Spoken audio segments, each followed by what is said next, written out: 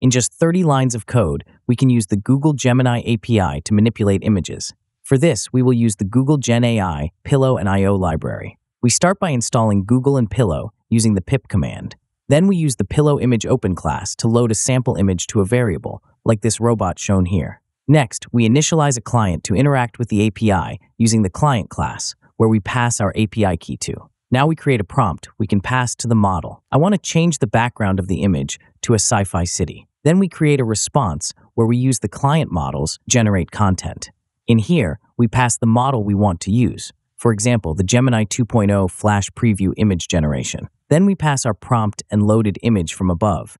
And last, we set up the config, where we define that we want the generate content config response modalities to be able to give us back text and an image. So we see the response status and the image. Then we handle and break down the response, where we first access all parts in the response candidates at index 0 for the content parts.